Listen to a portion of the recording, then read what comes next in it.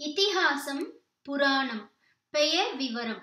ராமாயணமும் மகாபாரதமும் தான் நம் தேசத்தில் பாமர பண்டித பேதமின்றி எல்லோருக்கும் இரண்டு கண்கள் போல இருந்து கொண்டு யுகாந்திரமாக நல்ல வழியை காட்டி வந்திருக்கின்றன. இந்த இரண்டையும் புராணங்களோடு சேர்க்காமல் தனி ஸ்தானம் கொடுத்து இத்திஹாசங்கள் என்று வைத்திருக்கிறது. புறா என்றால் பூர்வத்தில் என்று அர்த்தம். பூர்வத்தில் நடந்ததை சொல்பவை புராணங்கள். அவற்றில் எதிர்கால ப்ரெடிக்ஷனும் வருகிறது. பூர்வத்தில் நடந்த கதையை சொல்வது என்று மட்டுமில்லாமல் புராணம் என்பதே பூர்வ காலத்தில் எழுதப்பட்டது என்றும் அர்த்தம் செய்து கொள்ளலாம்.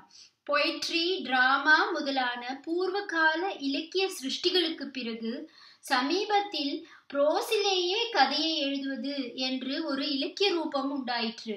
அதற்கு நாவல் என்றே பெயர் வைத்தார்கள். நாவல் என்றால் புதியது என்ற அர்த்தம்.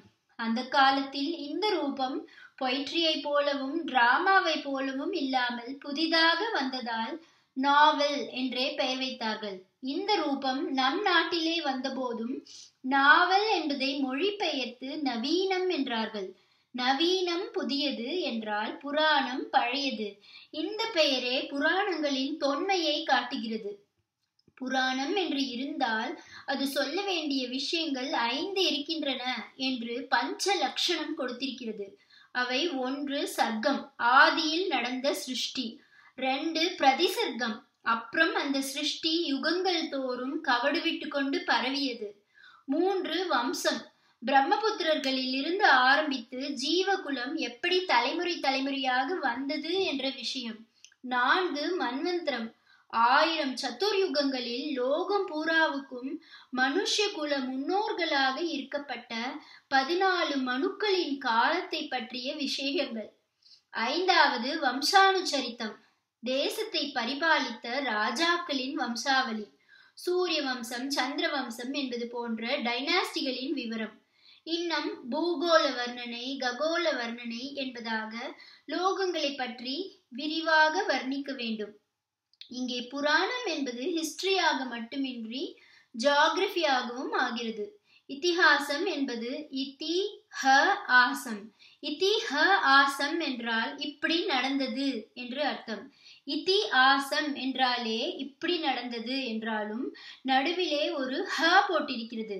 ஹவுக்கு நிச்சயமாக வாஸ்தவமாக சத்தியமாக என்று அழுத்தம் கொடுக்கிற அர்த்தம் உண்டு.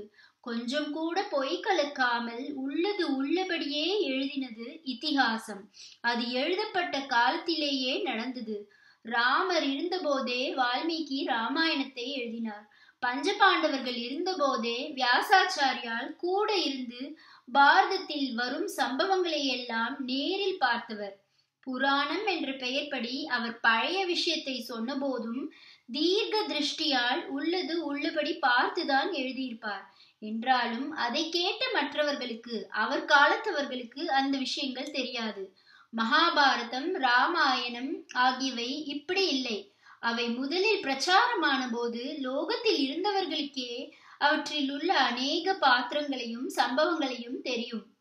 அதனால்தான் இவற்றில் நிஜம்தானா என்று நாம் சம்சயிப்பதற்கு இடமே இல்லை. என்பதை காட்ட இத்தி ஹ ஆசம் என்று ஹ போட்டு உறுதிப்படுத்தி இருக்கிறது இத்தி ஹ ஆசம் என்றால் இப்படி இருக்க வேண்டும் என்று அவர்கள் பெரியோர்கள் சொல்கிறார்கள் என்றும் அர்த்தம் செய்து கொள்ளலாம். நேரே நடப்பதை வைத்து கொள்ளாமல் இப்படி இருந்தது என்று ஒரு நம்பிக்கையின் மேல் எடுத்துக்கொள்வதே ஐதீகம். ஐதீகம் என்று தமிழில் அதைத்தான் சொல்கிறோம். அதாவது மரபு அல்லது ட்ரெடிஷனுக்கு இப்படி பேர். இப்போது நாம் நேரில் பார்க்கிற ஒன்றை கொண்டு இதை ஏற்படுத்தவில்லை. நமக்கு நீண்ட காலத்துக்கு முன்னால் இருந்து அனுசரிக்கப்பட்டதா? சரி நாமும் பின்பற்ற வேண்டும் என்று இருப்பதே ஐதீகம். இதி என்ற வேர் சொல்லிலிருந்தே ஐதிஹ்யம் வந்திருக்கிறது. இப்படி பெரியோர் சொன்னது என்பதற்காகவே நாம் பின்பற்ற வேண்டியது ஐதிஹ்யம் நாம் நேரில் பார்ப்பது இது. இன்னொருத்தர் சொன்னால் இப்படி.